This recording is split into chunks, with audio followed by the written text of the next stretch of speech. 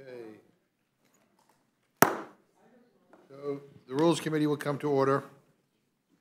Um, As we begin what should be our final Rules meeting of the year, I'd be remiss if I didn't take a moment to touch on, I think, a lot of things that we've accomplished during the 117th Congress. Um, I think we've made tremendous progress over the last two years. We enacted historic bipartisan laws to rebuild our infrastructure, uh, tighten gun safety, expand health care for veterans, protect victims of sexual misconduct, overhaul the postal service, enshrine same-sex and interracial marriage rights, uh, support Ukraine's defense against Russia's horrific war of aggression, and respond, respond to China's growing aggressiveness. House uh, and Senate uh, Democrats delivered big to help our country emerge from COVID crisis. We got shots in arms, continued critical relief for families, and safely reopened schools nationwide. On top, on top of all of that, this year we passed the most significant response to climate change in the country's history. We increased access to medical care for seniors, middle and lower income Americans, and enacted programs that will provide essential lifelines to millions. Uh, but despite all that we've pushed through, uh, uh, through the, across the finish line, a few things remain.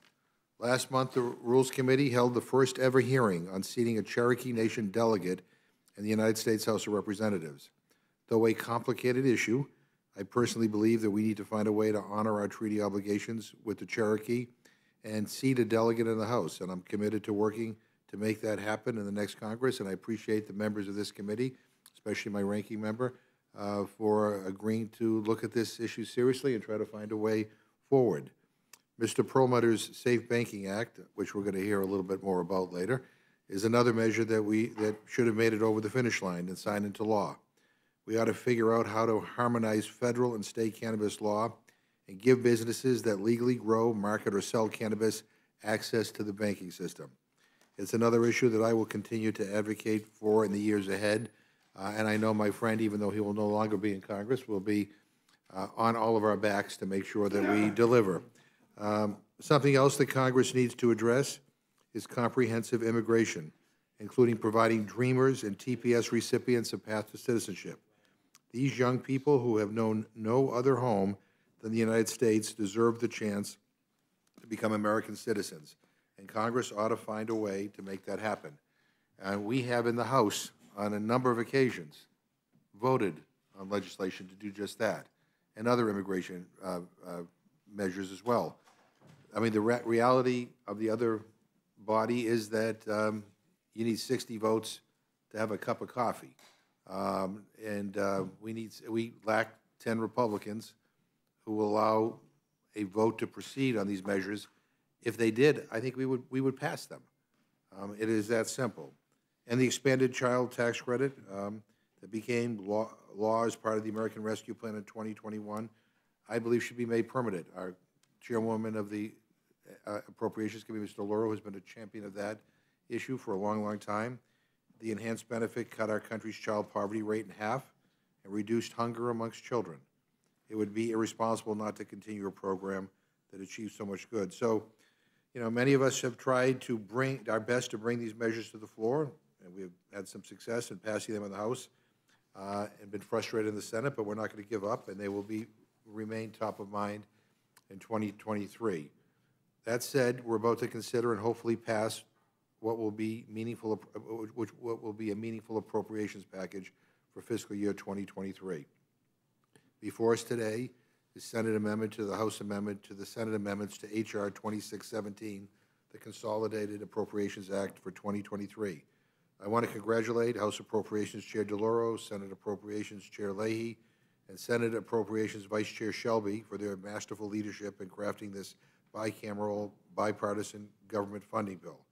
Um, I'll leave it uh, to today's witnesses to talk about the specifics of this bill.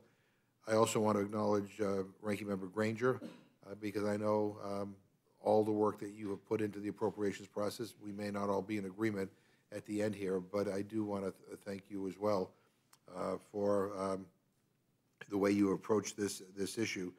And um, and I um, and, and again, this bill received broad bipartisan broad bipartisan support in the Senate including the votes of 16 uh, other, uh, 17 Republicans, including the Senate Majority Leader, uh, Mitch McConnell. And, we don't agree on anything. Um, So, um, as always, uh, uh, I- as I always say, it's difficult enough to get senators to agree on where to go to lunch, let alone come together to- to pass the same pieces uh, of legislation. But many Senate Republicans knew that this package was a good bipartisan deal. I thank them for their willingness to work together and deliver it for the American people. Let me just cl- close by saying, um, look, I don't, I don't love everything in this bill. Quite frankly, um, I find the, these endless increases in defense spending year after year to be appalling, especially with the challenges that we face here at home. Uh, We constantly hear from the other side that we don't have enough money to invest in the American people, and yet um, there always seems to be enough to invest in the next weapon system that the Pentagon doesn't even want or need. Uh, Yet here we are, uh, willing to come to the table to try to get the best deal that we can.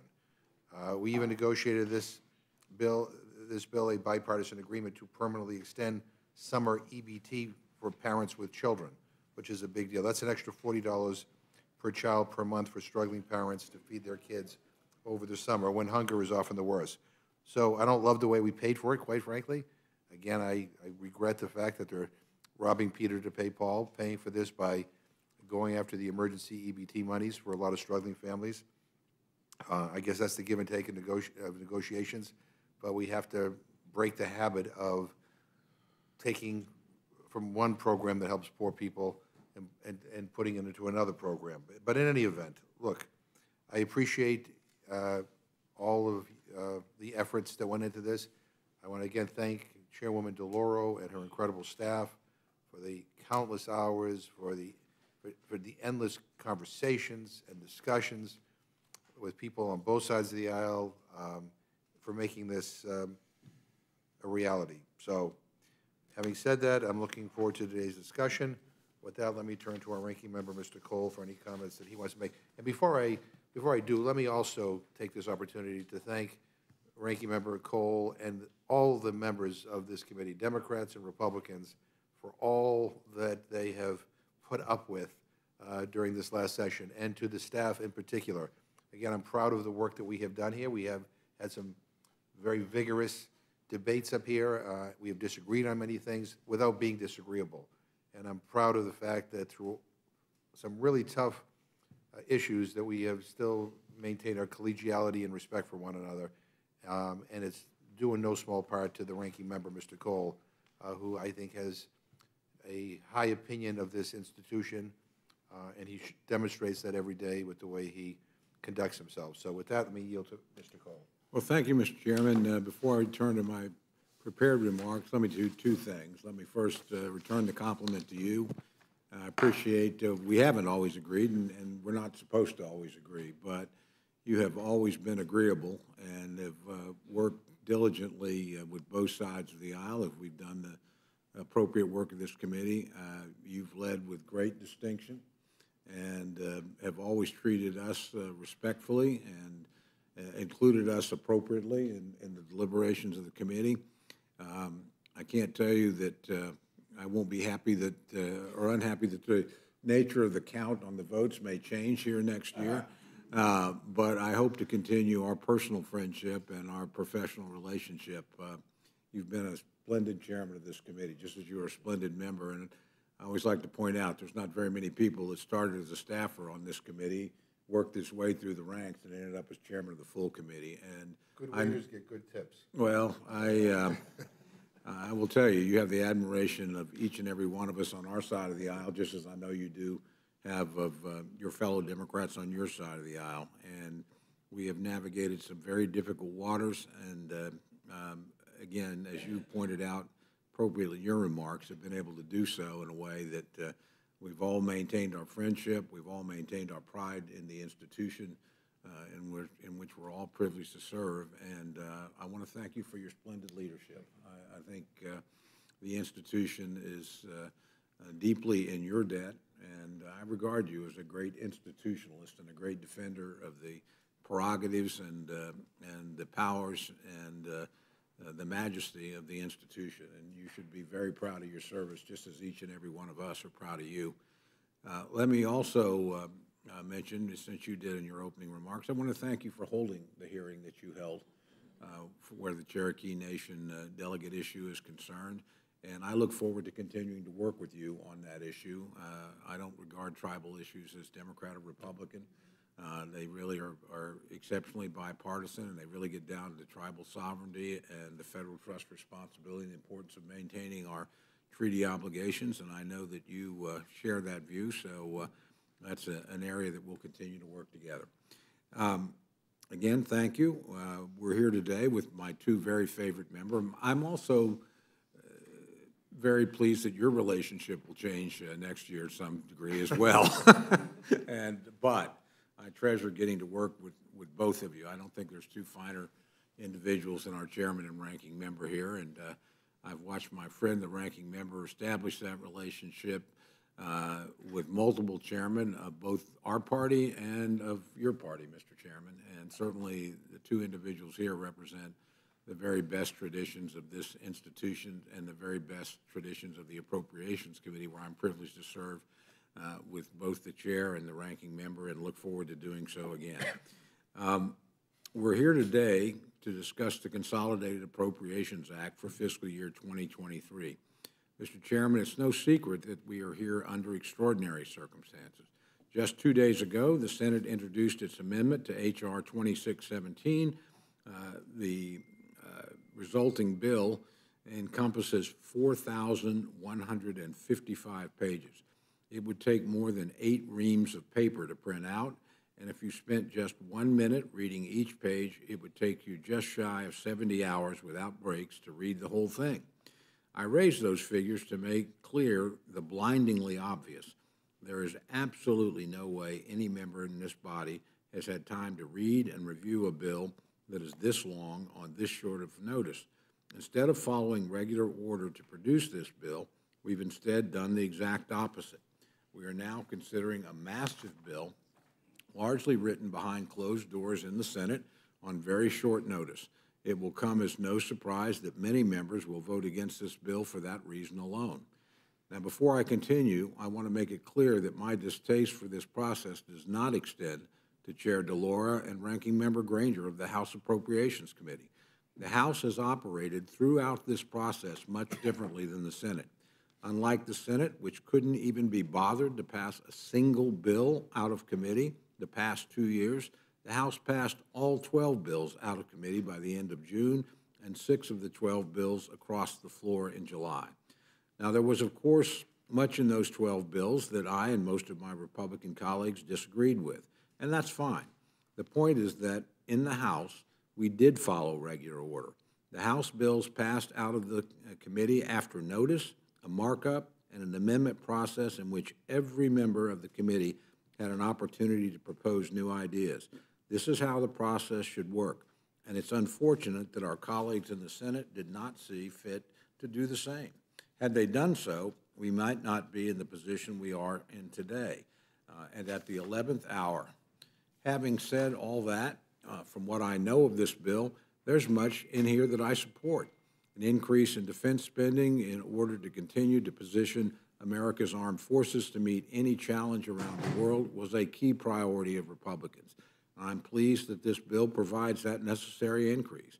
This increase in defense appropriations matches the authorized figures included in this year's NDAA and is a substantial increase over President Biden's woefully inadequate budget request. On the non-defense side, there are also things I like in this bill. Uh, The National Institute of Health will receive a healthy $2.5 billion increase, which is critical to addressing pandemics in the future and a project that my friend, the chair, and I have worked on together over many, many years. Uh, The bill includes advanced funding for the Indian Health Service, which will also go a long way toward improving health outcomes across Indian country, and substantial increases in other Native programs. And there are all, uh, these are all real improvements uh, to current funding levels. I'm also supportive of the supplemental funding for Ukraine, and frankly, would be supportive of that if it receives a separate vote. I personally think we should have separate votes on a defense package, a non-defense package, the Ukraine supplemental, the disaster supplemental, and a number of other items.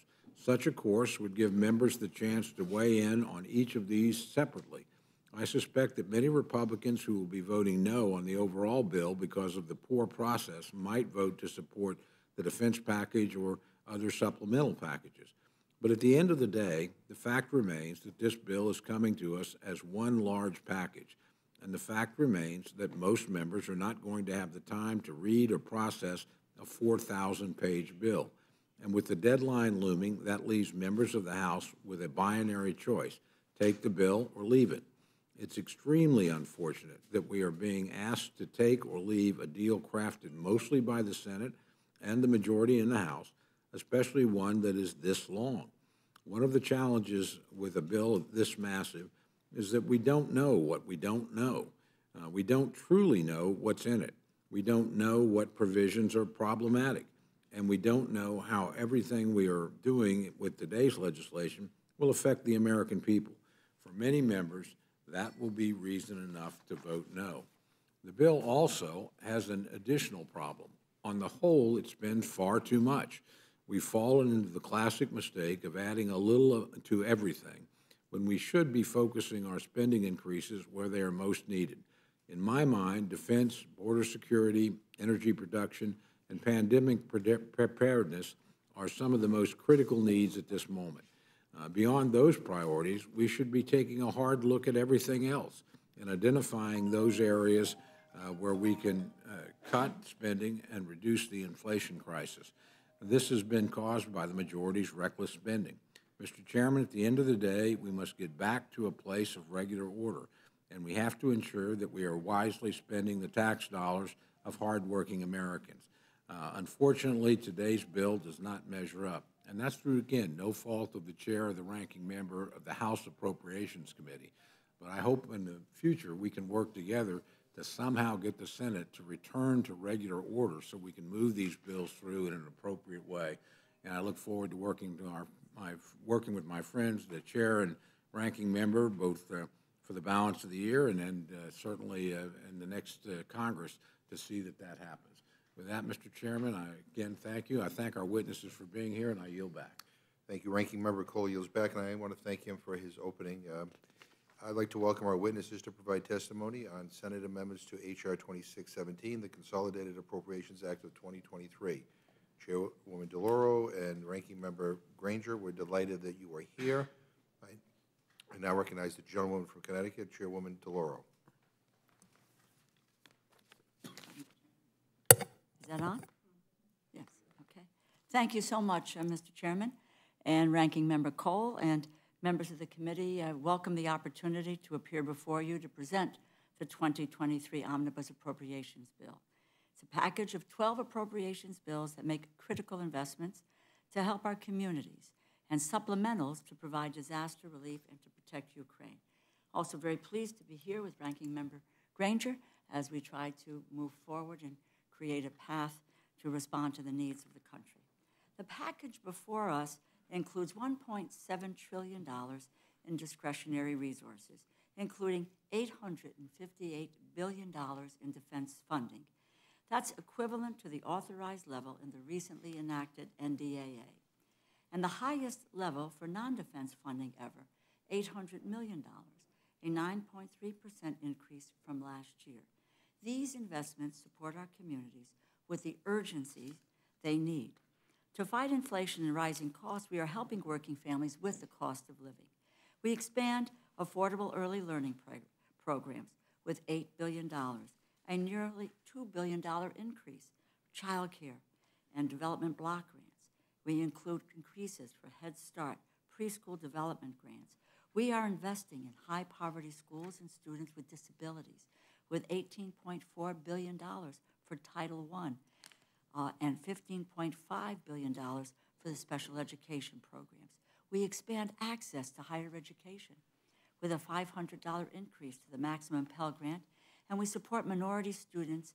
Uh, we support students at minority serving institutions. We expand home ownership opportunities for families trying to own a home. Our bills do this while creating better paying jobs and protecting our workers. Specifically, the legislation before us increases funding for the National Labor Relations Board for the first time since 2010 to $299 million, a $25 million increase to protect workers' rights to collective bargaining. We strengthen high-quality job training and apprenticeship programs, put people to work rebuilding our infrastructure, protecting our environment, and preserving our advanced manufacturing base, keeping our nation competitive and investing in economic development of distressed communities, and helping small businesses and entrepreneurs accept the capital, access the capital they need, all keys to our economic future. We provide a lifeline to families and communities in need by helping to meet their basic needs. We support nutrition assistance at home and abroad, including record high level funding for the Food for Peace and the McGovern Dole programs. We strengthen housing assistance by creating over 21,000 affordable housing units for struggling families, veterans, survivors who have fled domestic violence. We provide $800 million, a much needed increase of $650 million for the Migrant Shelters and Services Program, formerly the Emergency Food and Shelter Humanitarian Program. We include $3.5 billion in discretionary funding for the Food, uh, Food and Drug Administration. That's an increase of $226 million to address the opioid crisis and the medical supply chain issues. We fight health disparities. We focus on the health of our veterans who deserve and who have earned our support with a record $118.7 billion for VA medical care. And we provide advance appropriations for the Indian Health Service, which I know is a top priority for the ranking member of this committee. These bills also focus on keeping our nation and our communities safe, including the strong increases for the Department of Defense that will protect our national security, strengthen our ability to counter China and other near peer adversaries. We also do this by investing in our service members, local law enforcement, cybersecurity, and gun violence prevention efforts, all while simultaneously strengthening diplomacy and global development. And we make investments to battle climate change with environmental enforcement and environmental justice efforts, and investing in clean energy and climate science. And for the second year in a row, after a decade without this funding, 10 of these bills include community projects, including from many, many of us around this table on both sides of the aisle to strengthen the economic development of our communities and directly meet the needs of our constituents. Personally, I am thrilled that we were able to include funding to strengthen this body and grow the opportunity for all who work here. This includes increased funding for members' security allowance, funds to create a house child care subsidy program, and expansion of the student loan program.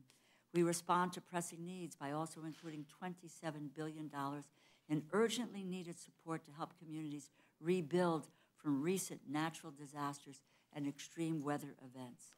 And as Putin continues to commit war crimes and doubles down on his ruthless attack, we provide $45 billion to support the Ukrainian people and defend global democracy.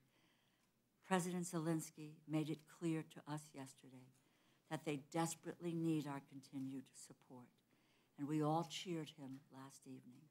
In his words, and I quote, this struggle will define what world our children and our grandchildren will live in. Ukraine's struggle is democracy's struggle. We stood and we clapped when he told us last night that, quote, our money is not charity. It is an investment in the global security and democracy that we handle in the most responsible way, end quote. Because it is. This funding has the power to save lives and to protect democracy. We have no other choice. While we make critical investments in these bills, they are not perfect. There is much more I wish we could have done, including increased funding for Title X and other family planning programs in the wake of the Supreme Court's decision to overturn Roe v. Wade. Women are and will continue to suffer until we do more to help them gain access to essential health care services. I'm deeply disappointed we were not able to increase this funding, but I'm committed and will continue to wage the battle for increased resources for women's health. The bill is, however, a bipartisan compromise. We have proven that we can and that we must continue working together for hardworking people everywhere. I am proud of this bill and I urge all of my colleagues to support it. And I respectfully request an appropriate rule for floor consideration of this legislation and look forward to answering any questions. I thank you. Thank you very much, Ranking Member Granger. Welcome. Just make, is your, is your mic on? Just make- make sure your mic's on. Okay, the, the mic, yeah. Thank you, Chairman McGovern and Ranking Member Cole, for allowing me to testify on H.R. 2617, an omnibus appropriation package to fund the government through the end of the fiscal year. I'm concerned about the size and scope of the package. It totals almost $2 trillion, and it comes after nearly $3 trillion of spending was pushed through this Congress. That's $3 trillion of enacted, completely out, enacted completely outside of the normal process. Overall, this record-high spending was roughly twice the amount of funding in yearly appropriations bills and has been a key driver of our historic inflation. Instead of reflecting the economic realities we face, the package of bills before us represents more spending for accounts that have already received large increases. We can't continue to spend at this rate on these extravagant social programs. I'm going to vote no when this bill comes before the floor. I thank you for allowing me to testify. I yield back the balance of my time. Thank you very much. I appreciate both of you being here, and, uh, and again, I appreciate all the work that you have done throughout this session. Um, I uh, will yield to Mr. Cole. Well, just quickly, uh, uh, I appreciate the work too, since I sat in most of those committee meeting hearings, as my friend from California uh, did as well. And um, I will tell you, while uh, we certainly didn't agree with everything, I certainly agreed with the process that our committee operated by. The fact that each one of these bills came before our committee, that every member of the committee was given an opportunity to offer amendments, to participate in debate, to ask tough questions. Uh, The fact that we moved six of them across the floor, frankly, I think uh, part of the reason perhaps that the other six didn't get across the floor is the dysfunction on the other side of the rotunda. It's hard for us to do our job when the Senate is doing any of its job at all.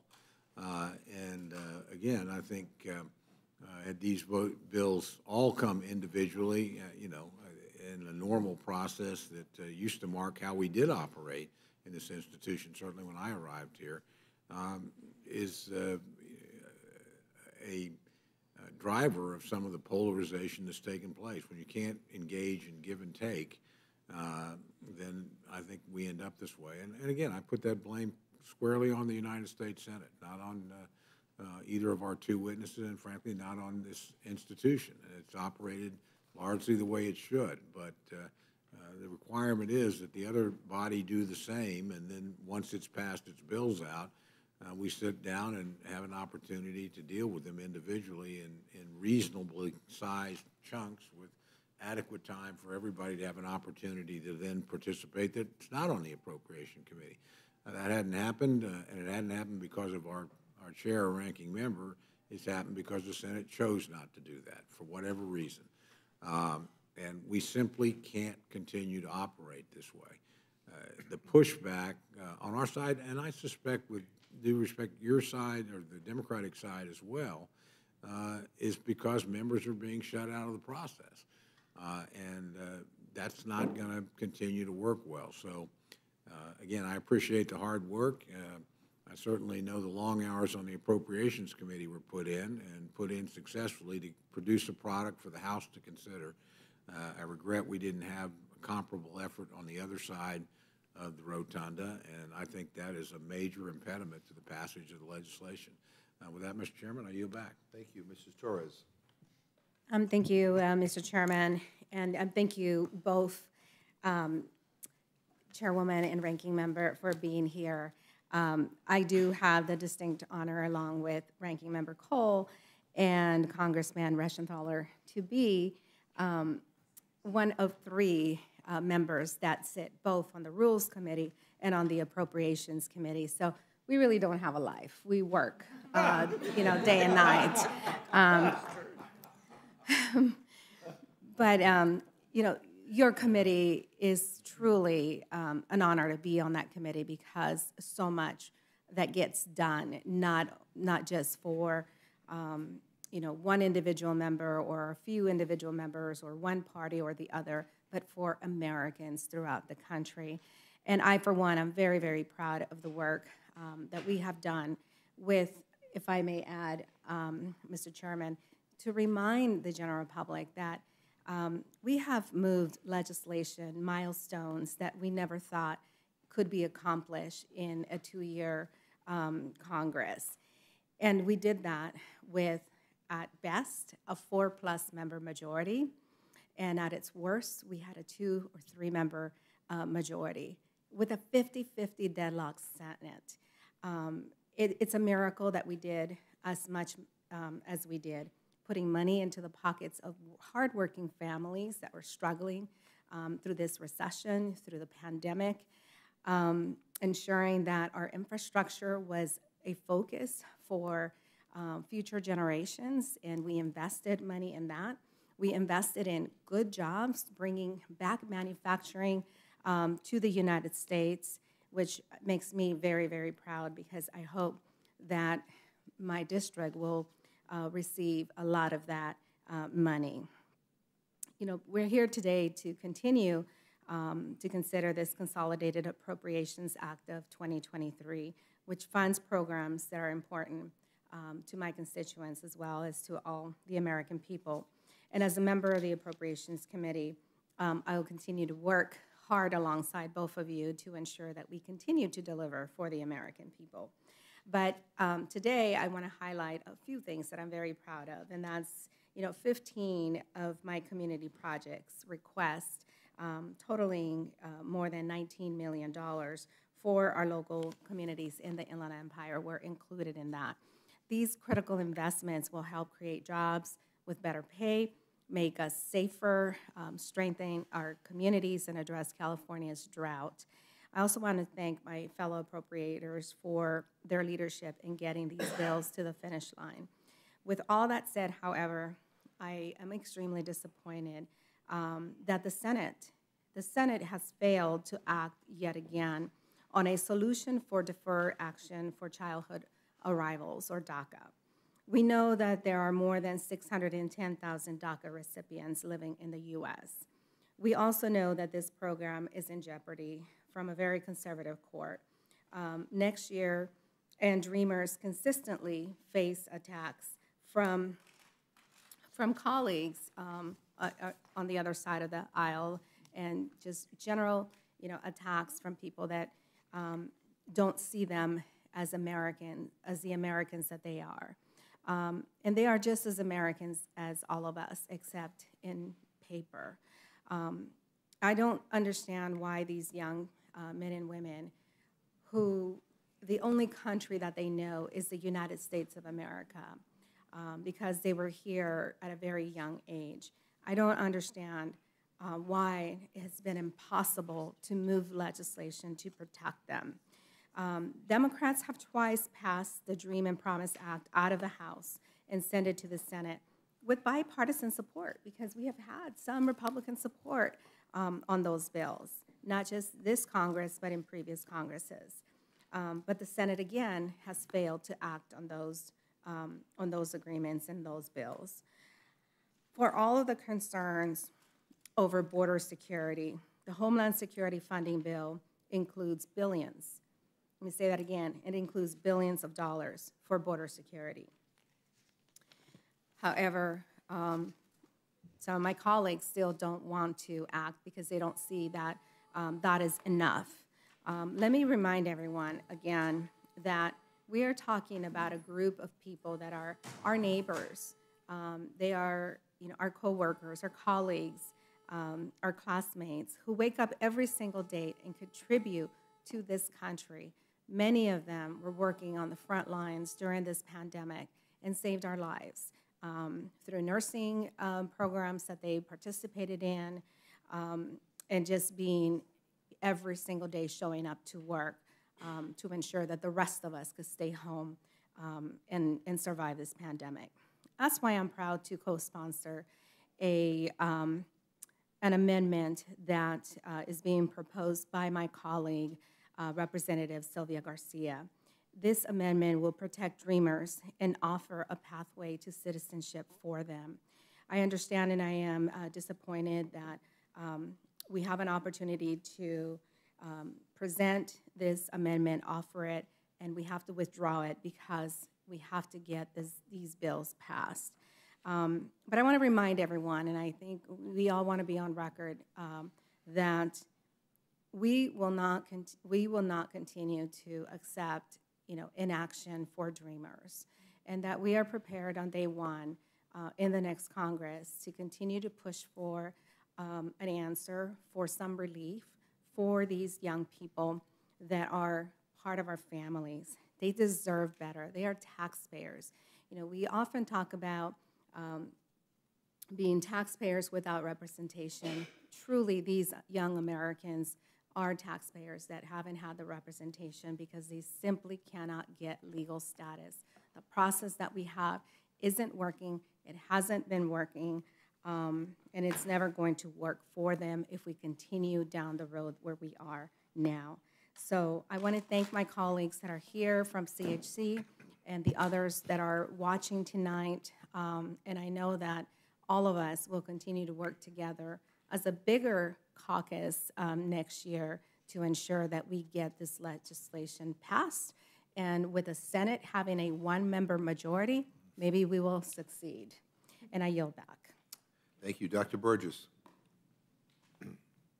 Thank you, Mr. Chairman.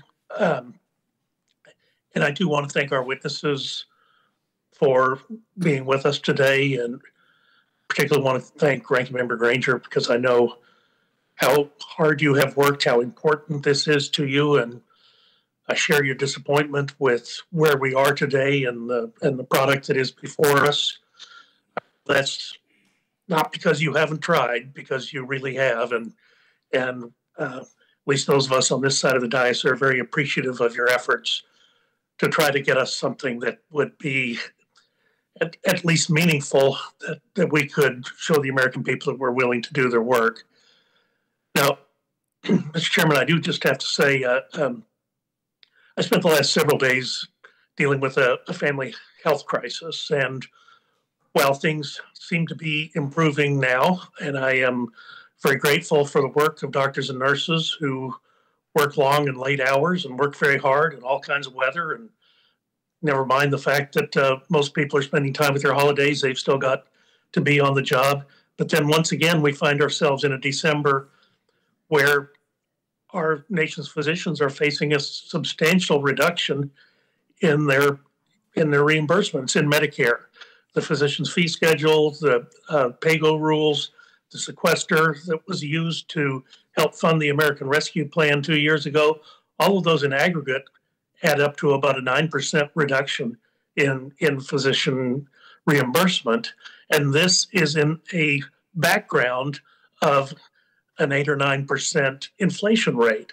So it is virtually impossible for these doctors and nurses on whom we depend every single day.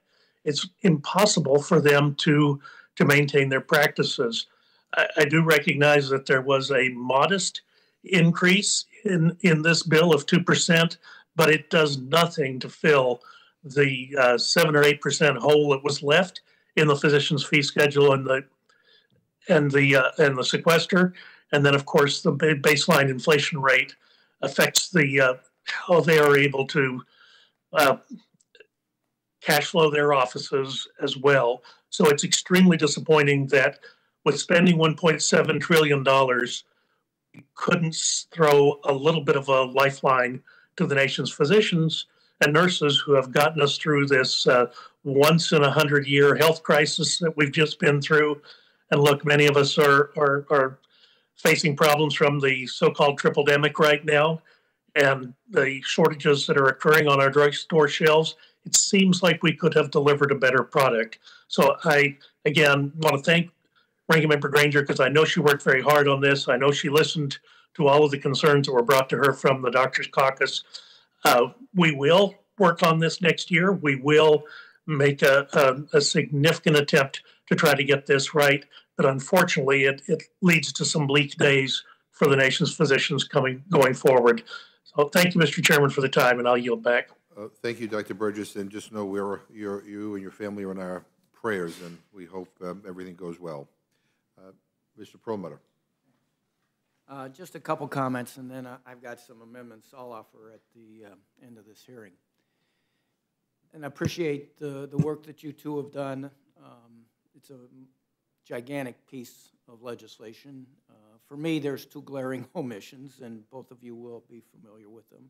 One is the Safe Banking Act, which I've been working on a lo- long time, as have a lot of us. I mean, we passed it with 321 votes several times. We passed it to the Senate seven times to watch it go nowhere, uh, under Democrats and Republicans. So the blame goes across both, both sides. I remember uh, somebody that several of you have served with, I did, Wayne Allard, he would always say, you know, the real problem isn't the Republicans or the Democrats, it's the other house. And from my point of view, that, that has turned out to be true. And just since this is sort of going to be my last hearing, I'm just going to say as a general proposition, just watching the chess game as to who gets what and how, what happens, um, I feel like they've played the game by delay up to a Christmas holiday, and you jam it down the House members' throats. And so it puts a lot of power into the Senate and into our leadership because it becomes the four corners making final decisions about everything. Obviously, as chairs, you two played uh, a role, the chair and ranking member, and you know the positions will ch- change next year. But we end up taking most of what the Senate wants us to have, and we take what the four corners want us to have. And as somebody, you know, I'm on a lot of committees, so I'm in the mix on a lot of things. But at, when it finally comes push to shove, it's okay, we got Christmas coming up on Sunday, and we've got a terrible storm coming, take it or leave it, as Mr. Cole was saying. And so there are two glaring omissions. I'm going to ask you just a couple factual questions. Um, do you, the, the other glaring omission is a cost of living adjustment, okay?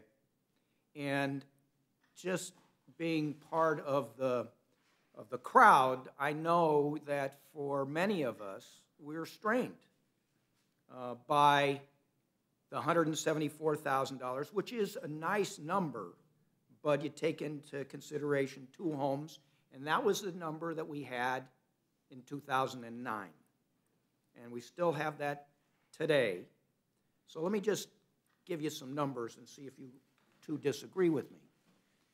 So in 2009,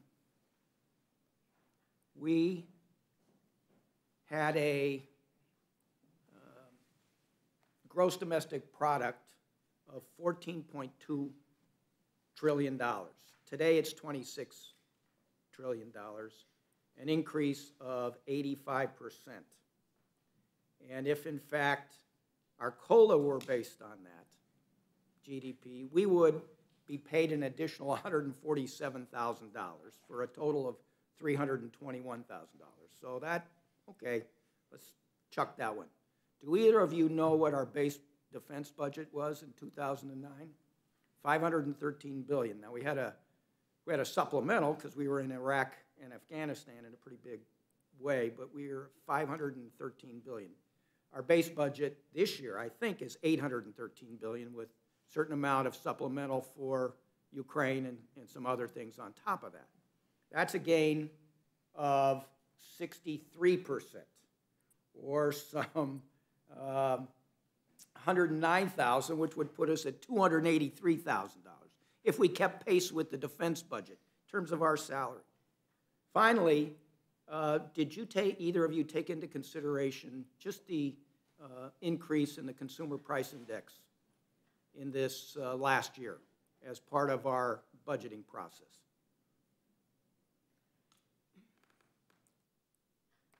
Mr. Perlmutter, I made a case over and over again, and it wasn't specific to the issue that you are uh, uh, speaking about. Um, But the important underlying concept, I believe, is that uh, while there was, overall, there was inflation.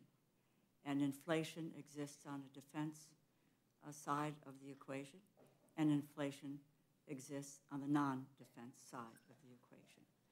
Um, I fought that battle, and I think we tried to do what we needed to do uh, with the pushing and the shoving and the delaying and all that you speak about in terms of trying to, uh, if, if you will, deal with the issue of parity in some way. And that was um, opposed.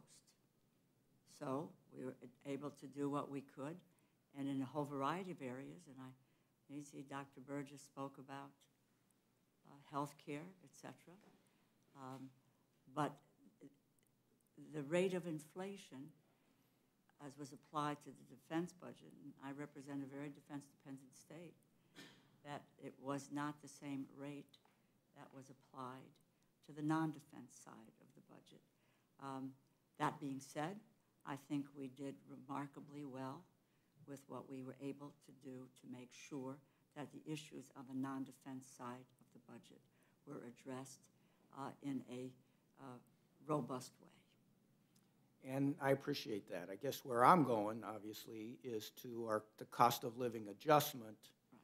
So between 2009 and today, it's 33% increase in costs across the board, in which case we would be, we, on top of $174,000, would be entitled to a $58,000 increase, which is precisely where the judges will be on January 1st. And so both of you are familiar that back in 2009, our salaries and the U.S. District Court judges were the same. Is- Am I mistaken, or do you remember that? Okay, well, they were. And then we stopped. No, stopped that, and Then then- we stopped providing ourselves COLA, and we stopped them for, from receiving cost of living adjustments. They sued us, And they saying, you are diminishing our salaries, you can't do that. And they won. And they're gonna be at two hundred and thirty-three thousand dollars starting January first, and we're still at one seventy-four. Now, I say this, not that we deserve sympathy in this place, and a lot of people think we're overpaid. They think we're overpaid at zero dollars. Okay? I mean, it's just what it is. But on the other hand, there are two things that I think all of us as policymakers have to consider.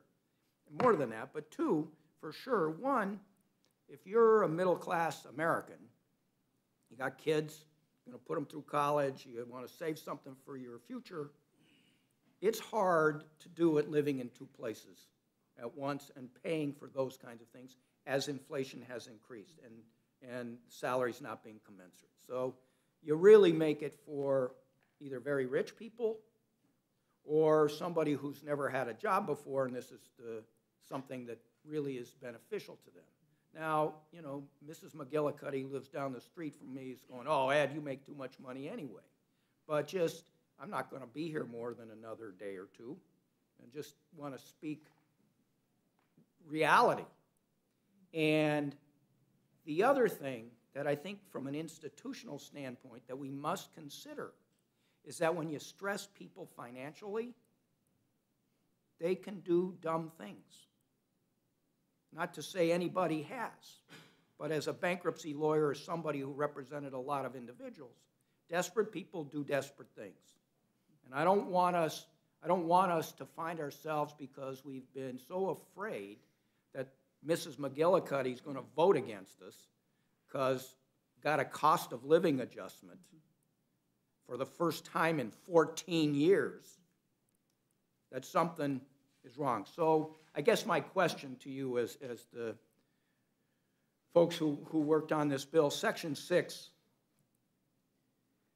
of the bill, um, uh, of course I've lost it. Um, Section 6, page,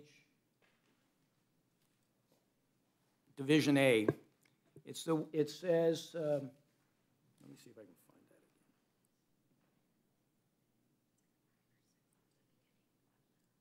I had it.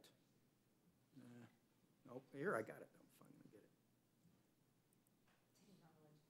Yeah, well, I had it. No, I don't have it. It basically strikes the COLA again. It's just, did there, was there any discussion about that?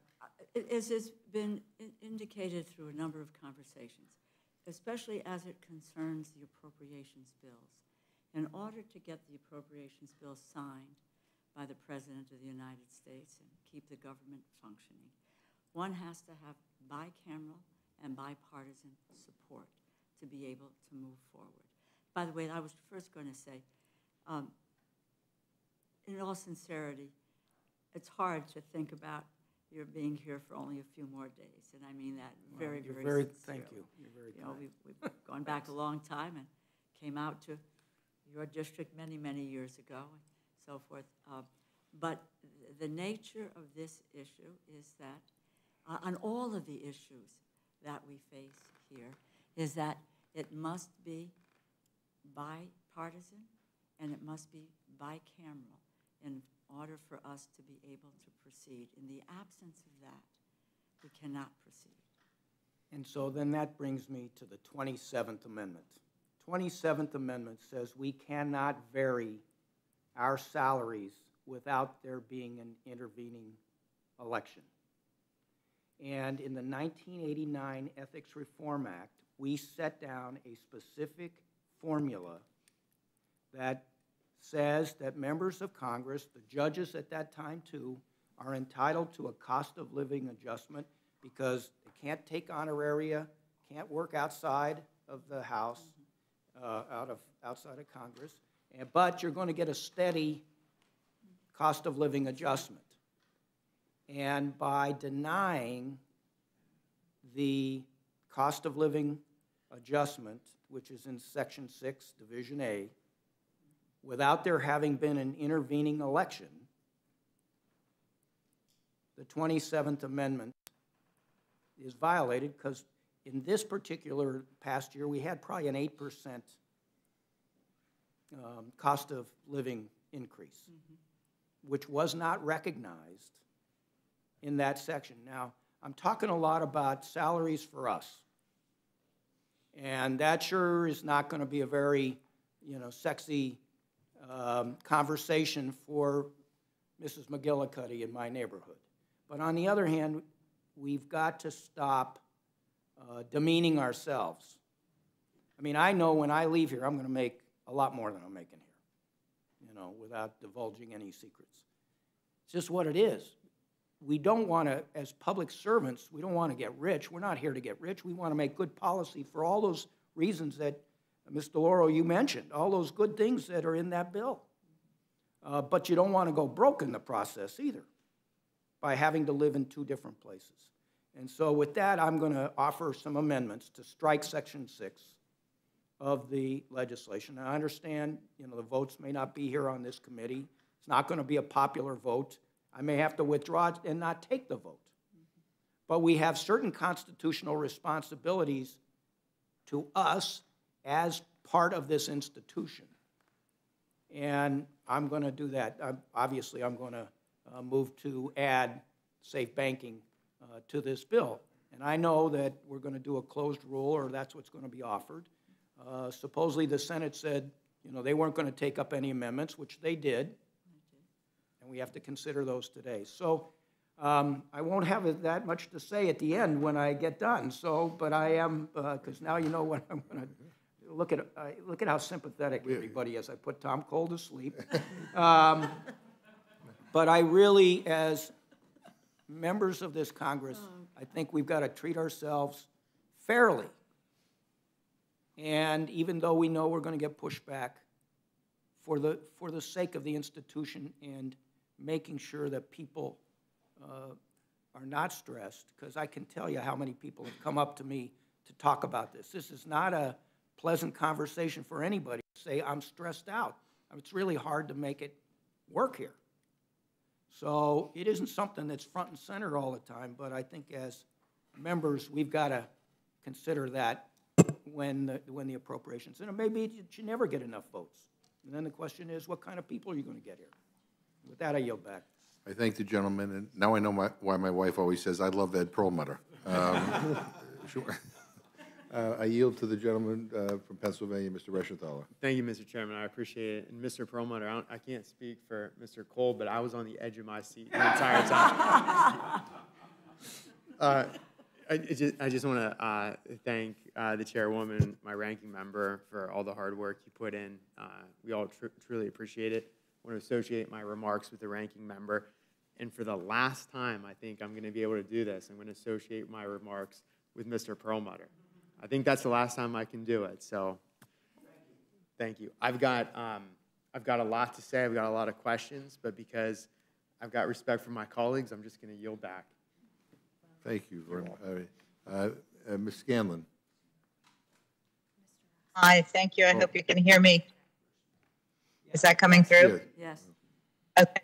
Um, I did just want to thank the chairwoman and the ranking member for all of their work. Obviously, this has not been um, an easy process. I also wanted to take my term to um, be unhappy with the Senate because the Senate version coming back to us has a lower number for the Legal Services Corporation. Has historically been funded. We're still funding legal service for about 1970s levels. Account for inflation. Did get a modest increase through the House this year. I wish we would have would be voting on that as we go, um, have this bill proceed. But um, other than that, to thank our appropriators for doing the job so well that I would yield back. Thank you. And Mr. Raskin, I didn't, I, I didn't uh, forget you. You just were cut off my screen, so I'm going to go to Ms. Fischbach and then go to you. Thank you, Mr. Chairman. I'd just like to associate myself with the remarks of our ranking member, and with that, I'll yield back. All right, Thank you. Uh, Mr. Raskin? Thank you, Mr. Chairman. I just want to thank Chairwoman DeLauro for her um, really extraordinary and heroic work on this legislation. And there's a lot of stuff that I really love that's in here. But um, again, out of uh, respect for a colleague's time, I won't get into it. But I also do want to agree with uh, Ms. DeLauro, who said it would be uh, hard to think of um, Mr. Perlmutter even spending a few more days with us. And so, other than that, I yield back to you, Mr. Chairman. Mr. M- Mr. Morelle? Uh, Thank you, Mr. Chair. I want to uh, add my voice of thanks to uh, Chairwoman uh, DeLauro. I, um, although Ms. Torres understandably just acknowledged three members, I actually am a member of the Appropriations Committee. Um, They were so efficient in their work. I didn't get to vote on any of it because they were already done by the time I was appointed. So um, that's how much further ahead of this uh, we were uh, than the United States Senate, to Mr. Cole's uh, point and, and the point that others have made. But I do want to thank the appropriators for their hard work. I know this is uh, uh, a lot of time, a lot of energy. Um, it's a similar duty to being on the rule with a lot of time and a lot of energy. And so uh, want to agree with Mr. Perlmutter. Uh, I think the question of what we value, and I don't, I've not had the privilege of meeting Mrs. McGillicuddy, but I understand his point. Um, but if you're not going to invest in something and you're not going to continue to uh, make sure that uh, people uh, are compensated, at least in a just way, uh, then the influences around us and in Washington, also to Mr. Perlmutter's point, there are a lot of people uh, who make, uh, you know, two, three, four times what legislators make once they leave service. And to me, that creates a temptation. It also indicates uh, how much we value these jobs. Maybe uh, some members come uh, who have uh, vast resources, and this is uh, not an issue. But if you want to get average Americans, Congress being able to uh, perhaps stop their career midterm and come back to it at some point or not, I think you have to adequately compensate them.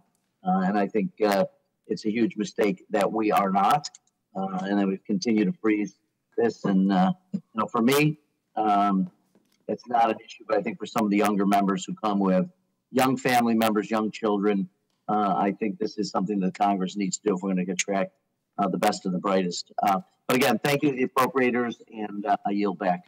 Thank you very much. I don't, Mr. DeSaulnier, I don't see him, but Ms. Ross?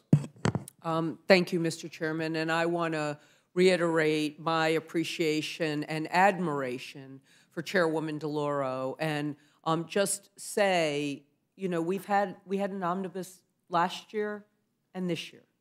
They were a little late, but they arrived fully funding the government without a government shutdown, with community projects that are helping all of our communities, and they have gotten bipartisan support in the Senate.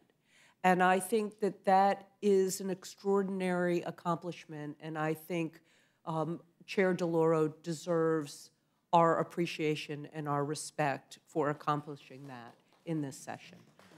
Um, I also just want to make a couple of other points. I want to agree um, with Congresswoman Torres that the fact that this package did not include our dreamers, and that includes um, DACA recipients and our documented dreamers who are victims of a broken immigration system, is, is really a tremendous disappointment in this Congress and should be something that's a bipartisan priority. I also want to point out that this um, omnibus includes the Electoral Count Act, which is probably one of the greatest investments in our domestic democracy while we are also investing in democracy in Ukraine. And the fact that that was done in a bipartisan way is a huge accomplishment for this Congress. Um, I, and then personally, as a freshman who has been learning the um, community project process, I did do it as a state legislator on behalf of the citizens of Wake County, North Carolina. We thank you for funding mental health, affordable housing, small businesses, and the environment. And with that, Mr. Chairman, I yield back. Thank you very much. Are there any other questions of this panel? Do you, you guys want to say anything else? question, but I wanted to address Ms. Scanlon's concern, just to give her a piece of information, if she is uh, still on. We did with Legal Services Corporation, uh, it's $560 million, $71 million above 2022, and that's obviously legal assistance to underserved communities. But also to understand that there is an additional uh, legal serv, in the disaster uh, uh, uh, um, supplemental. There's legal services. Legal Services Corporation is $20 million is provided for emergency legal assistance to underserved individuals and families impacted by natural disasters. So there was a recognition of that in addition and uh, to the regular appropriation. Look, uh, thank you very much, both of you. Uh, There, look, there are 435 members of the House, 100 members of the Senate. Uh, We would all write the end-of-year appropriations bill differently from one another. We all have uh, different priorities, but at the end of the day, I think what we're faced with now is when you weigh all the equities, when you look at everything that is there, on balance, um, is this worth supporting or is it not? Um, From my perspective, it is. Some of my colleagues say it isn't. I mean, people are going to have to make that decision. Uh, But I do again want to emphasize our gratitude to uh, you, Chairwoman DeLauro, and your team for getting us to this point. Uh, I also want to thank Ranking Member Granger and her staff. Again, we have all the appropriations bills that Mr. Cole referred to that came through this committee. Uh, It has been a pleasure working with you both, uh, and, um, and not just for what you produce, but for the manner in which you conduct yourself. I mean, we are living in a time when everybody's yelling at everybody and pointing fingers, and there's such polarization.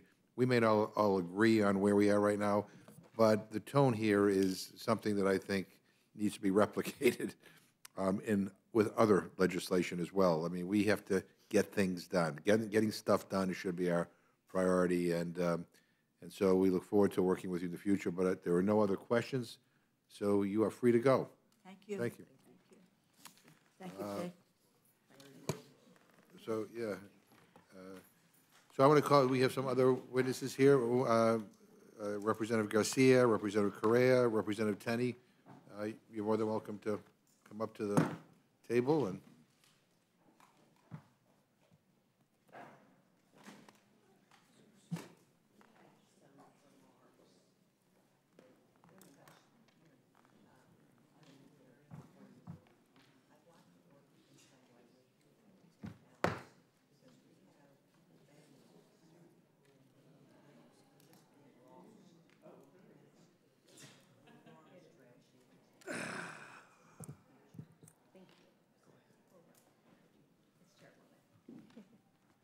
You- You're more than welcome to pull up a chair. Yeah, yeah, yeah. So we, uh,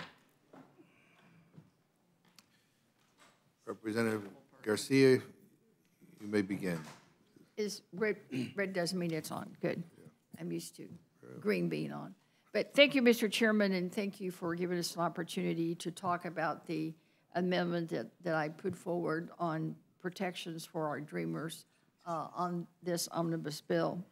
Uh, As you noted, and thank you, I'm heartened by the fact that you and the committee um, that this was unfinished business uh, this session. Uh, But I'm here today to express my utmost support for dreamers around the country. I introduced this amendment seeking to codify legal protections for dreamers in the omnibus, and I want to explain why. It is now a time of now or never for dreamers. Those 600,000 plus that my colleague Representative Torres mentioned. It's almost a do or die. They are hanging by a thread. If Congress does not act now, the courts will end DACA as soon as next year. If DACA ends, thousands will lose their jobs, impacting labor market sectors already experiencing shortages such as healthcare, education, service industries, food production, and more. The Congressional Hispanic Caucus has been relentless in our fight to secure a pathway to citizenship for dreamers. We have twice, twice passed the Dream and Promise Act out of the House and sent it to the Senate with bipartisan support. Ultimately, Senate Republicans have led our dreamers down once again. You said earlier that it takes 60 over there to agree to get a cup of coffee. Well, in this case, 75% of Americans agree that we need to get that coffee. And they need the dreamers there helping us side by side, drinking that coffee, making that coffee, harvesting that coffee, selling that coffee, because we are part of the American dream. My amendment is exact same language as that already passed in the Dream and Promise Act. No changes, exact. We've already acted on it. It's simple. To the hundreds and thousands of dreamers and their families, we will not rest until we deliver a pathway to citizenship and keep our families together. Mr. Chairman, you know, I'm often asked what kind of Democrat I am, and I always say a Matthew Democrat, because I truly believe that helping dreamers continues what Matthew tells us to do. I was hungry, and you gave me food. I was thirsty, and you gave me a drink. I was a stranger, and you welcomed me. It is not only time to welcome our dreamers, but to make sure they stay here and thrive and reach their full potential. We must help our dreamers. We must not give up, and we will never give up. Thank you. With that, I yield back. Thank you, Mr. Correa. Thank you, Mr. Chairman and Ranking Member. I'm also here in support of this uh, amendment, for support of the Dreamers. Uh, Be, be brief, we all know about this issue. Just to emphasize, 80% of Americans, Democrats and Republicans, support a pathway to citizenship for Dreamers. This is not an issue about immigrants. This is an issue about America and keeping America strong. Dreamers are nurses, police officers, firefighters. They work in all sectors of our economy. They're also soldiers. In my district, young man, Jose Angel Garibay, first American soldier to make the ultimate sacrifice in Iraq at the age of 21. He was a dreamer. He volunteered for the Marines, made the ultimate sacrifice, and we made him an American citizen posthumously. That's a dreamer. Today, we have many dreamers in the military. What do you tell them when the court system rule against them? They continue to be in limbo. That's a dreamer, and those are our dreamers. To be a dreamer, as you know, you have to obey the law. You cannot have a criminal record. You have to have a job, pay taxes. Our economy needs dreamers. I probably represent the largest number of dreamers in the country. I represent Orange County. If you took Orange County, we'd be 32nd largest economy in the world. Dreamers, immigrants are part of that economic miracle, Orange County, California. I would just say, let's stop using dreamers as a political piñata. Let's rescue these good taxpayers, not immigrants, taxpayers from the political whims of our economic political system. Give them an opportunity. No, actually, give them the opportunity to earn a pathway to citizenship. Let's do what's right. In America, we're always just and we're always looking to do what's right in the eyes of God. Mr. Chairman, Mr. Ranking Member, thank you very much. Thank you. Representative Tenney. Thank you so much, and thank you, uh, Chairman McGovern and also Ranking Member Cole. Uh, I just want to thank you for the opportunity to testify about this, the, uh, this amendment in the underlying bill, which was uh, would add the text of the Susan Muffley Act of 2022 to the FY23 Omnibus Appropriations Package. In 2009, more than 20,000 Delphi salaried retiree, retirees lost the full value of their retirement benefits in the aftermath of the General Motors bailout. As part of its 2009 bankruptcy agreement, the Delphi Corporation, a subsidiary of GM, surrendered its pension obligations to the Pension Benefit Guarantee Corporation. The Obama administration then worked behind closed doors with union leaders to guarantee union workers full pension benefits while slashing the pensions promised to 20,000 non unionized salaried staff. After a decade of exhausting every avenue in the judicial system, the Delphi salaried uh, retirees are relying on Congress to restore their pension plans. To do so, Congressman Kildee and Congressman Turner introduced the bipartisan Susan Muffley Act to restore the Delphi salaried retirees pension plan with back pay. I want to take a moment to recognize the individual this bill is named after, Susan Muffley. Miss Muffley's husband, Dave, worked for Delphi for 31 years and lost the full value of his pension in 2009. With this unexpected and burdensome change in their economic status, Mrs. Muffley avoided seeing her doctor despite ongoing illnesses. And unfortunately, she died, uh, was later diagnosed with pancreatic cancer and died in 2012. What is even more tragic about Miss Muffley's story is this is not unique. I did a full town hall with hundreds of members who all have had similar experiences. There are thousands of stories, as I said, just like this, including all over Western Central New York uh, and former Delphi employees whose pensions were slashed, launching them into economic hardship they received but a fraction of their hard-earned money. Like most of the committee, including Chair McGovern, Ranking Member Cole, I was honored to support the passage of the Susan Muffley Act when it passed the House of Representatives in July. I'm disappointed this legislation never received a vote in our favorite place, the U.S. Senate. Uh, and I was also disappointed that it was not in our one-year appropriations package, despite our strong bipartisan advocacy. Uh, reversing this injustice would be life-changing for so many of our constituents and all the Delphi salaried employees across the country whose personal investments and benefits were actually stripped away. While I understand my amendment will likely be ruled out of order, I urge you on the Powerful Rules Committee to deem this amendment in order and help the Delphi salaried retirees restore their full pension benefits.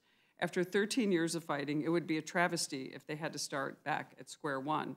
But before I yield back, I just want to thank uh, Representatives Kildee, Turner, and those of you who, who uh, also uh, joined in supporting this uh, for co-leading my amendment and also for introducing the Susan Muffley Act this year. It's been an honor to fight on their behalf.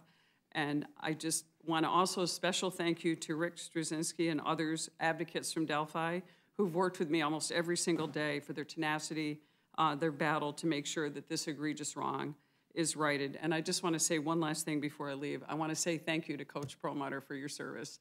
It's been great to great to work with you. And uh, sorry I didn't get to play this year, but I just want to say thank you. You're terrific, and uh, really enjoyed working with you. And uh, thank you for uh, th thank you for doing for doing the battle on uh, your previous comments earlier. I appreciate it, and uh, look forward to hopefully getting this back in. And I thank you again for your time. I know this is time is of the essence, and I don't want to take any more, but. Thank you to all of you for serving in this, and I yield back. Well, thank you very much. Uh, let me let me thank you all for your testimony, Representative Tenney. I, you know, we are in a we're at the end of a. Uh, oh, do you want to go? All right. Yeah, Well, okay, we, um, we, have to go to Mr. Perlmutter before we get to questions. Okay. Thank you. Um, thank you, Mr. Chair. Um, you heard most of what I wanted to say concerning the salaries. I'd like to introduce a few things into the record. Um, Mr. Chairman, the case of Bob Schaffer versus Bill Clinton, uh, United States Court of Appeals for the 10th Circuit, 240 F. 3rd, uh, dated February 13, 2001, in which case um, Congressman Schaffer at that time objected to cost of living adjustments. Uh, The court ruled him out of order, that uh, he, uh, that the cost of living adjustment that he had gotten did not injure him, he did not have standing when he, when he uh, uh, got, received the cost of living. He had opposed the cost of living, he got it, and they said he wasn't injured by getting the cost of living.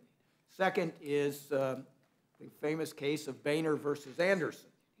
Uh, John Boehner in uh, 30 F 3rd 156, United States Court of Appeals for the District of Columbia, objected to cost of living uh, adjustments offered under the Ethics Reform Act of 1989.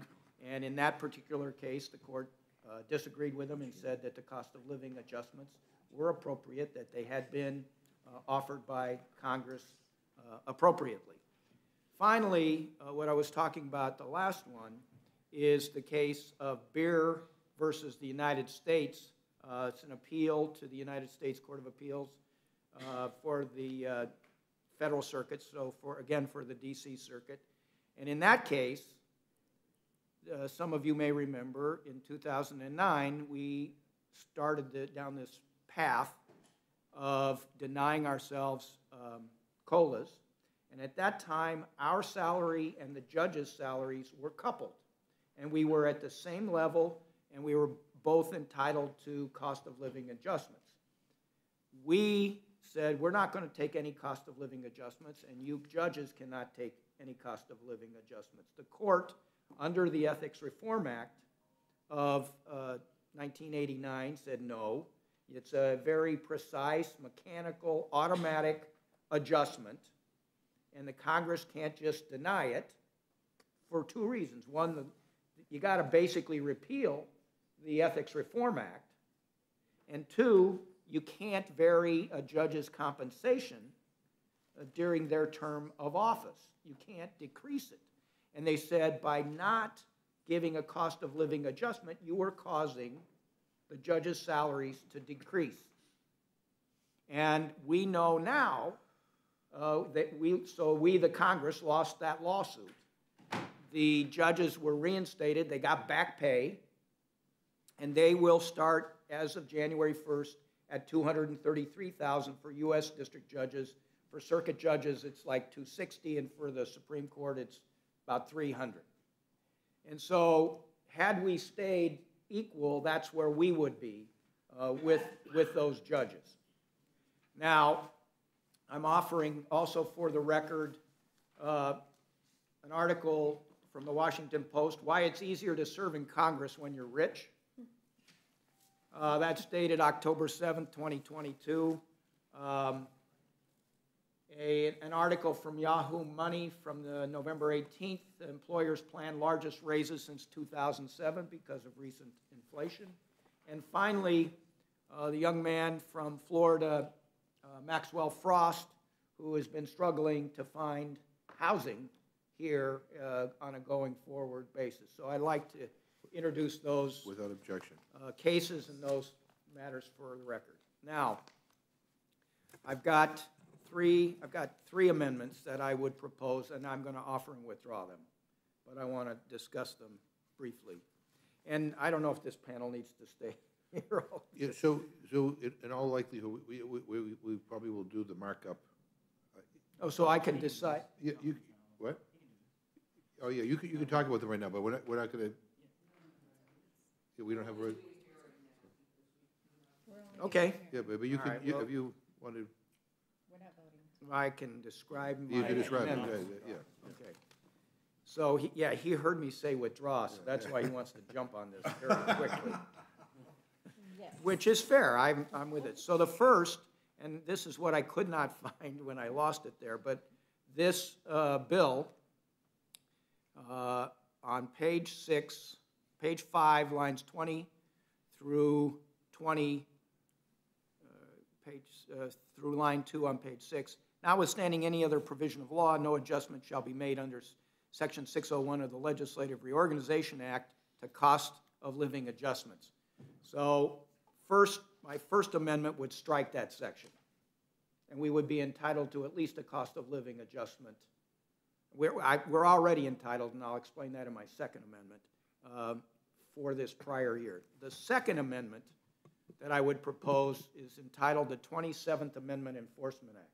So the 27th Amendment says we cannot vary our compensation without an intervening election.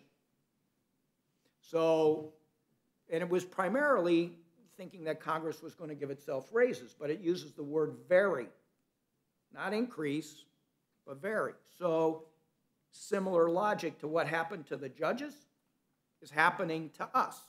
And we know that between 2009 and today, we're $58,000 to the, to the red, if you will. So the 174,000 that I was earning back in 2009 is more like 120,000 today.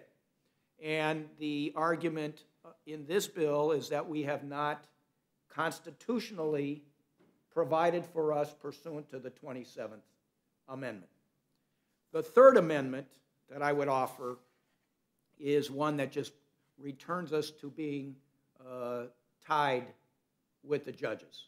Now, I don't think the judges are being paid enough, but that's a whole other story that the Judiciary Committee should take up. But that, the third one, uh, would be to put us back on a par with the federal judges.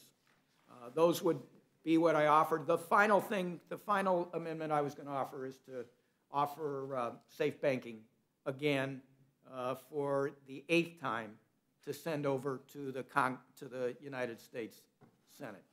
And with that, uh, happy to answer any questions. Well, thank you. Let me thank everybody for your testimony. And Ms. Tenney, I, um, I'm very supportive of your effort, and, um, and, you know, we are at the end of a process here that uh, we don't have a lot of choices um, to open this up without derailing everything at this point. It's just a, kind of where we're at. But you have my, um, my word that I'll continue to work with you on that.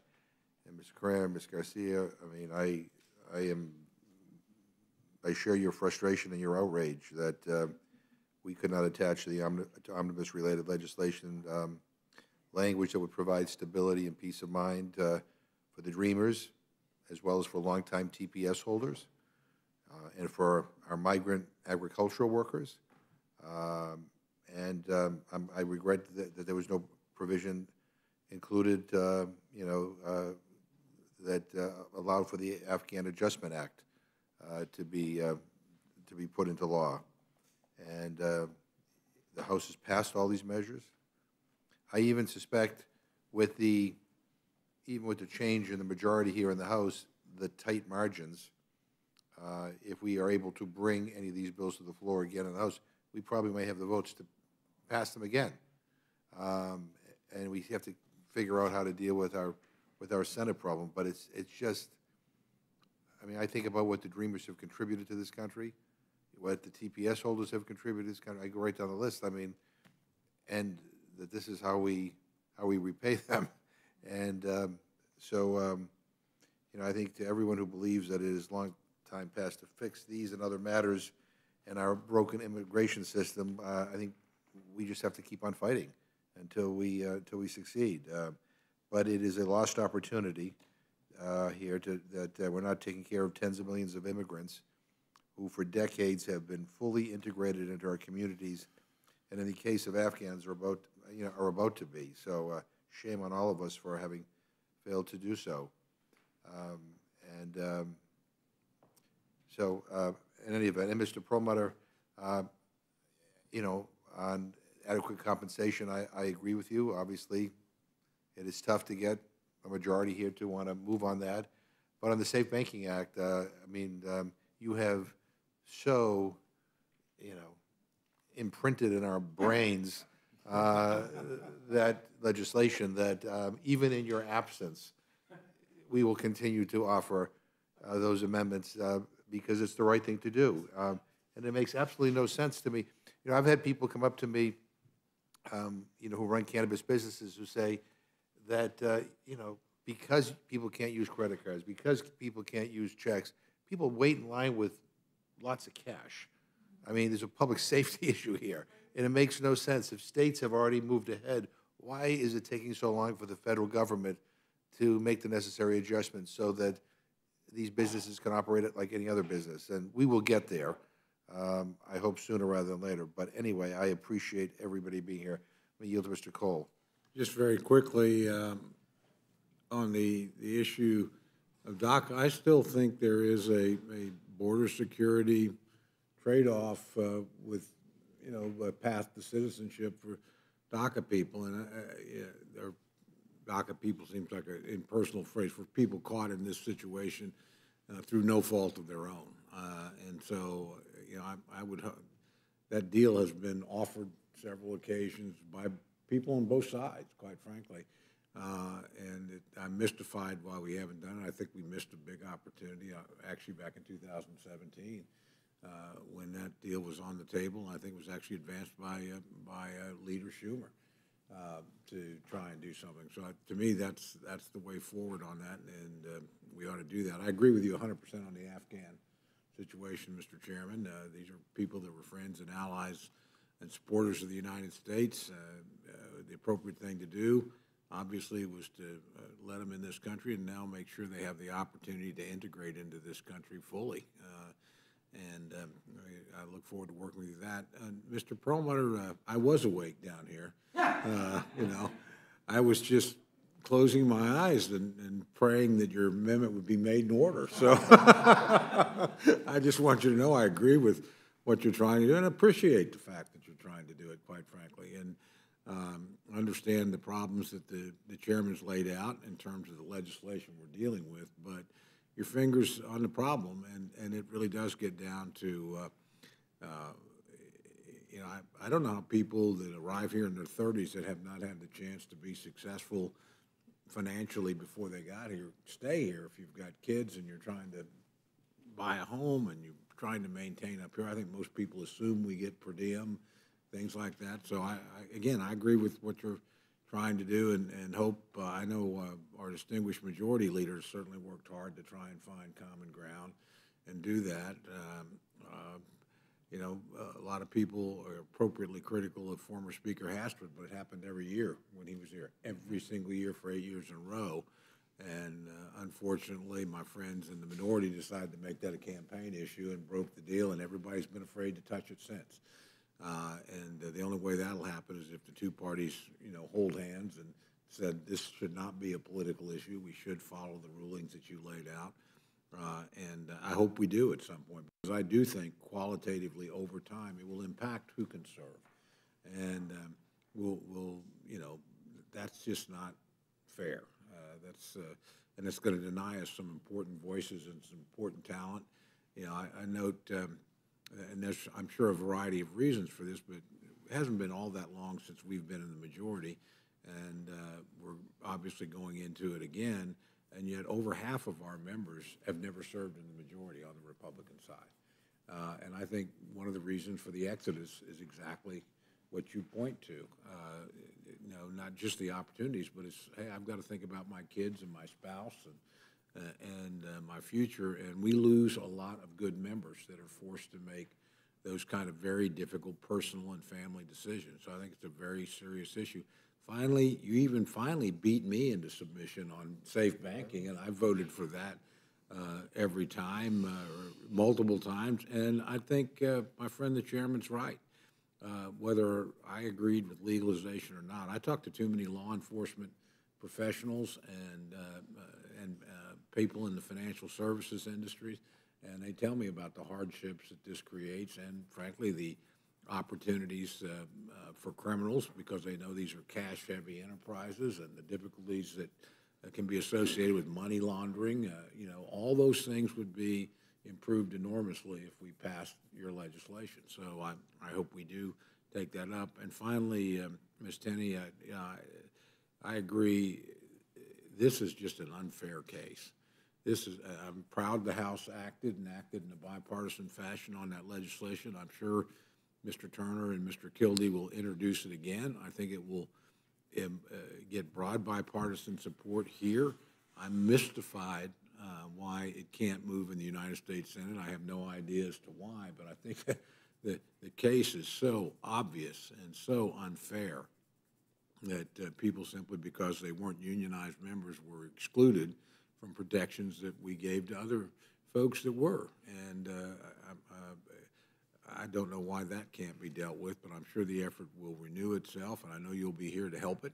And uh, as you do, I think you're going to have a lot of bipartisan support, as was demonstrated this year. So these are all, again, I understand the, the chairman's uh, uh, exactly right. Uh, we don't have a lot of time. We have a lot of big decisions to make, so I don't quibble with that. Uh, but I thank each of you for bringing these issues up.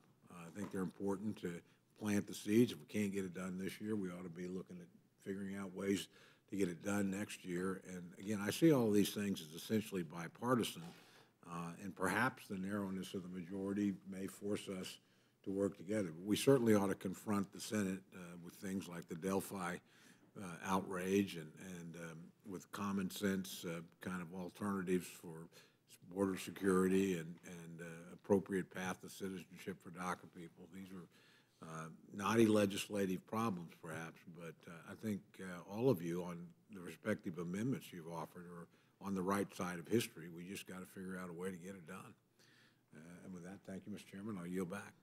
I'm thinking maybe we can do a bipartisan resolution naming your chair the safe banking chair. Whoever sits there can know that that's their job. Uh, Mrs. Torres.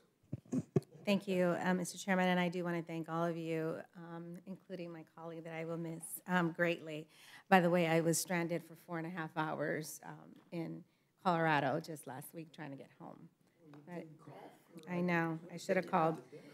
Um, You know, I, I, I, I want to go back to, um, you know, the issue of um, the millions of people that are here, um, you know, the, the DACA um, recipients that are every single day, you know, their life is being threatened, their livelihoods are being threatened with deportation. Um, I, I do um, um, agree that there had been efforts to tie that with border security. Um, if our good friend, uh, Chairwoman Lucille Roybal Allard was here, she would um, correct us and, and say, and remind us of how many times, as a chairwoman of, of the subcommittee on Homeland Security that dealt with border security, um, she has taken many, many, many votes um, that have come back to haunt her over, over this issue. Tying dreamers to border security is really immoral because these are not um, security risks for our country. These, were peop- these are people that came to the United States as young people. If they were criminals, if um, they had some kind of background issue, they would have been deported, as many of them are deported because they have a DUI or whatever. Um, so we can't tie people that are American in every way, um, except on paper, to the issues that we have at the border. Um, so I just want to be clear about that, and I want to ask um, uh, Ms. Garcia if she has anything to add on that issue, because, you know, this is your amendment. Well, thank you for the question, and all I'll say is this, that, you know, as I think Ms. DeLauro mentioned, or maybe it was the chairman, that there was um, $3 billion in the Homeland Security portion appropriations for border security. So to me, it is being covered, it is on the table, and it is separate and apart from anything that comes out of my committee and his, we're both on judiciary, we're both on the subcommittee. If they were tied together, then it would be one committee hearing both things, but it's not because they're separate. Uh, so you're absolutely right, and it's not only the federal government. You know, I come from Texas. We're ground zero in many of these issues, or non-issues, depending on your point of view. When I was a state senator, we were spending about $845 million on border security. The state of Texas, you know what it is now? Close to 5 billion. Lots of money down there. I mean, I have seen the charts, I have seen the maps of the different layers of security, everything from the people on the ground to the boats to the airplanes to the drones to the helicopters. I mean, I'm not sure what else more we can do. Other perhaps smarter technology and smarter ways to, to uh, with X-ray and, and uh, other cameras to try to just see what's coming through, particularly when it comes to fentanyl uh, in packages and containers and cars. Because the people that are coming through seeking refugee here in our country are not the bad guys. They're not, it's mostly women and children. So I think we already have a lot of dollars on border security, and we have all voted for some of those dollars.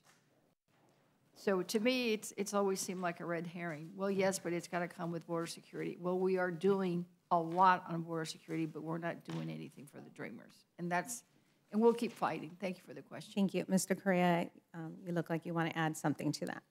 Uh, You're on Homeland Security on that subcommittee. And um, I concur with uh, Congresswoman Garcia. Um, The amounts of money we've spent on the border uh, and border security, if you want to talk about border security, it doesn't start and end at the border. Uh, Most of the terrorists that are caught are actually caught on the northern border. The real bad guys are actually caught places like the Brazil airports because that's the easiest place to get visas. And I do hope that we can have this discussion, but a discussion driven by the facts and what it is to have a secure America, which is not really talking about immigration reform. This is a different matter, but nonetheless, we'll continue to spend money on border security. Uh, and again, as Ms. Garcia said, if it's about fentanyl, 90%, 95% of that stuff goes through the border checkpoints. Better technology to stop that poison that comes to our country. Absolutely agree. But also agree that our economy needs immigrants. Afghanis should be in this country. Ukrainians, okay, we did it right with the Ukrainians. Lifted 42 said, come on in with a TPS program. We should learn from that lesson. Thank you, and I yield back, Mr. Chairman. Dr. Burgess. Thank you, Mr. Chairman. There's uh, plenty I could say about this, but in the interest of time, I'm, I'm going to yield back. Thank you. Um, Mr. Perlmutter, you're you're?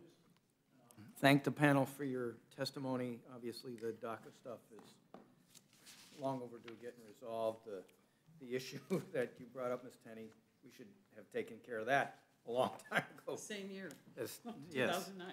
So I just add two things to the record. Um, In that beer case I talked about for the judges, um, there's a, it says the dependent, dependable COLA system became, quote, final important part of the package designed to remove salaries from their current vulnerability for political demagoguery.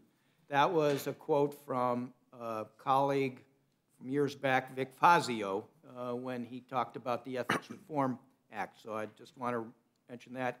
And then the 27th Amendment says, "No law varying the compensation for the services of the senators and representatives shall take effect until an election of representatives shall have intervened."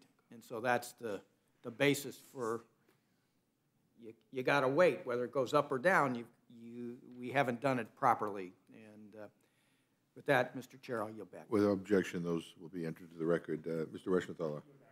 Uh, Mr. Raskin. Thank you, Mr. Chairman. I just want to express my appreciation for um, Mr. Correa and Ms. Garcia and their advocacy for um, young people in DACA. Um, you know, this is something we should have dealt with a long time ago. I think it's unconscionable what we've put all these young people through. I mean, you know, I've got a number of constituents who work as nurses, they work as teachers, they're firefighters, um, and I just feel like we've treated them so poorly, um, you know, in this political tug of war. And uh, that, you know, I wish we could uh, just get through this. So I want to thank my colleagues for their great advocacy on this, and I yield back to you, Mr. Chairman. Thank you. Ms. Fischbach. Uh, Ms. Scanlon. Mr. Morelle. Uh, Thank you, Mr. Chairman. I uh, just want to take a moment. I, first of all, I appreciate the panelists and those who offered amendments. I certainly appreciate Mr. Perlmutter, but I, I wanted to just take a moment, if I can, it's appropriate, but I want to thank uh, you, Mr. Chairman. I've had the great privilege of serving uh, on this committee now for four years. It seems like uh, just a few minutes in some ways. And I remember when I first became a member of this committee, people warning me, "Oh, you're on rules, boy. Uh, you're not going to like that." Well, I've enjoyed every single moment of this. Uh, the time with all of you. I feel like it's a uh, uh, a large, at times unruly family, but uh, I've learned so much from members on both sides. I have uh, the deepest respect and affection and um, gratitude to you, Mr. Chairman, and Mr. Cole, who I've equally learned a great deal from, and from each of the members of this committee. It's just been a great privilege to serve with all of you, and I did want to also acknowledge my buddy uh, Perlmutter, who has took an interest in me for reasons I don't really understand, but from the moments I got here, and has been a great friend and mentor. And each of these members, I, I'm just grateful for the opportunity to serve with you. And um, I don't know what the future will hold, but uh, just wanted to say uh, uh, for the record how uh, how great it's been to be a member of the Rules Committee. I'm very very proud of it, and uh, just wanted to acknowledge your leadership and uh, the leadership of every single member who I've had the privilege to serve with. I yield back. Well, thank you very much. We are a family, with the, like the Addams family, but we are the, we are the our family. But, uh, uh, Mr. DeSaulnier, Ms. Ross. Um, Thank you, Mr. Chairman. I'll associate myself with the comments of all of the members um, about the, the merits of the proposals that have been brought forward. I also really want to, she's not here, but I want to give a shout out to um, Chairwoman Zoe Lofgren, who put together the American Dream and Promise Act, which took care of the Dreamers, TPS, the documented Dreamers, and got bipartisan support in this House, and also the Farm Worker Modernization Act. Both of these were needed pieces of legislation, bipartisan legislation, and hopefully will be the framework for what we can do in the next session. And with that, Mr. Chairman, I yield back. Thank you very much. Uh, Does any other member have any questions for the panel? Seeing none, thank you so much. You are free to go. Thank you. Thank thank you so much, Merry Christmas. Merry Christmas. Um, um, Are there any other members who wish to testify on Senate Amendment to H.R. 2617? Seeing none, that closes the hearing uh, on uh, Senate Amendment to H.R. 2617.